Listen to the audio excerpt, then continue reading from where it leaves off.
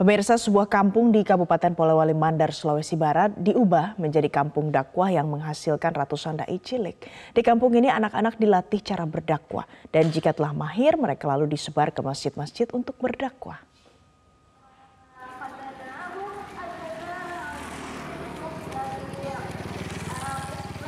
Pemirsa seperti ini kegiatan di kampung pendidikan yang terletak di Dusun Lemotua, Kecamatan Binuang, Kabupaten Polewali Mandar.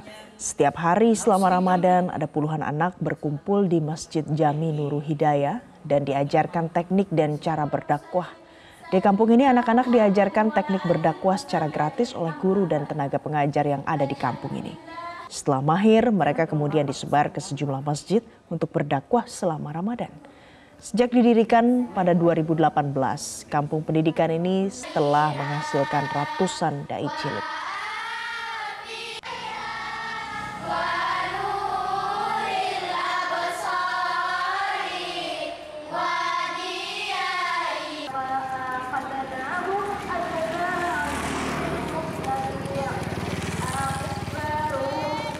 harus tetap semangat, rajin membaca, rajin berlatih, tidak boleh kita bosan-bosannya dan harus sering tampil